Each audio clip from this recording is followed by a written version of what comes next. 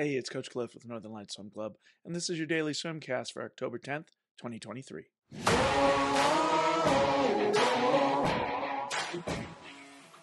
We're in day two of our VO2 max cycle, and we're going to start off with a set of 875s swim kick swim. This is just our warm up set.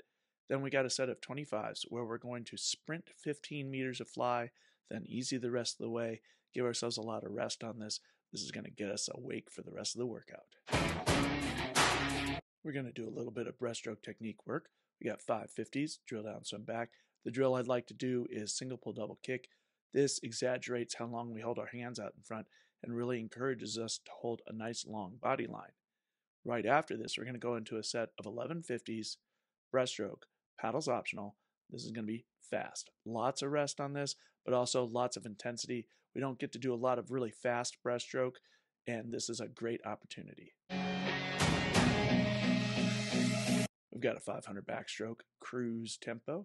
We're going to keep this nice and relaxed, but we want to stay focused on things like our body roll, how deep our hands are, the pitch of our hands, making sure that we're being as efficient as possible, placing the water exactly where we want to put it. Then we're going to go into a set of 25s, dolphin kick on your back streamline with fins. This is a BPA set, that means best possible average. Really going to get after this one. This is a true VO2 max set. This is the purpose of our whole week. Let's really get after it. See you at the pool.